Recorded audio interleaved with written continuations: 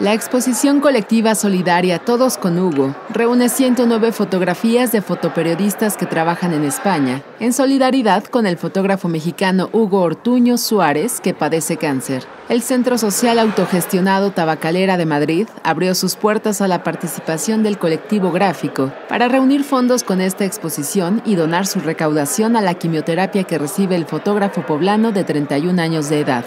Ortuño trabajó en 2014 en Madrid para la agencia EFE, con la que posteriormente se trasladó a la delegación en Uruguay, donde el año pasado le diagnosticaron el cáncer y eso le obligó a trasladarse a México a seguir su tratamiento. En total, 109 fotografías de gráficos de medios españoles especializados en alguna fuente informativa, corresponsales, freelance y también un par de imágenes del propio Ortuño conforman esta muestra. Entre las fotografías vendidas destacan algunas premiadas con el WordPress Photo 2016 de Dani Ochoa, el Premio Internacional de Periodismo Rey de España, un Premio Ortega y Gasset de Periodismo y un Internacional Luis Baltueña.